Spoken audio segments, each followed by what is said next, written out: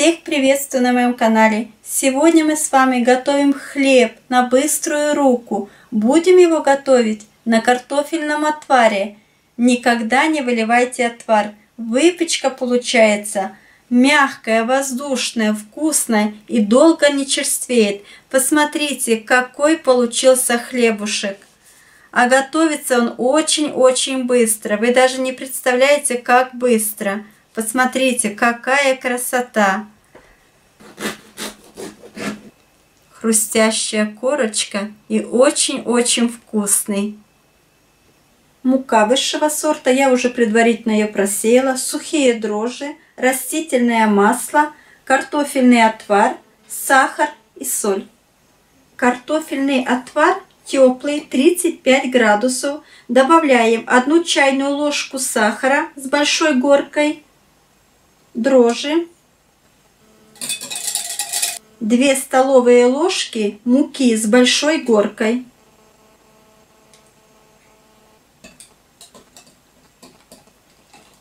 ставим в теплое место, чтобы наши дрожжи растворились и поднялись. Прошло 25 минут. Посмотрите, как хорошо поднялись дрожжи.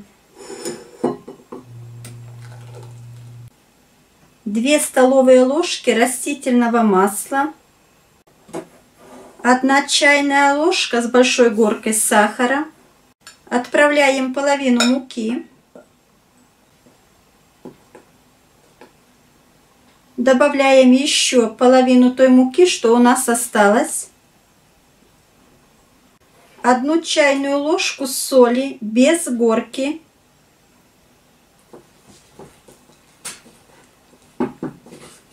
Высыпали всю муку на стол.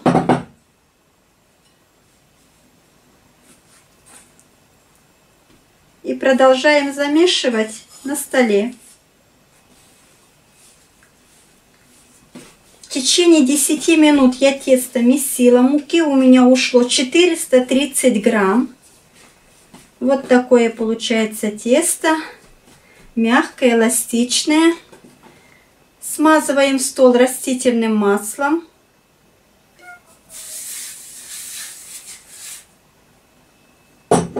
Смазываем руки.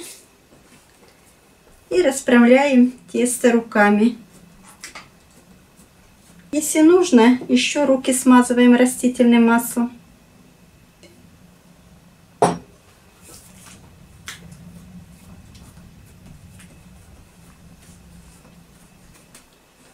Скатываем тесто в рулет.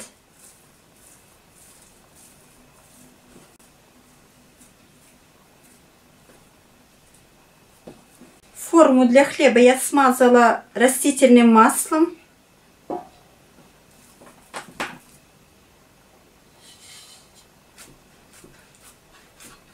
Накрываем пленкой и ставим в теплое место.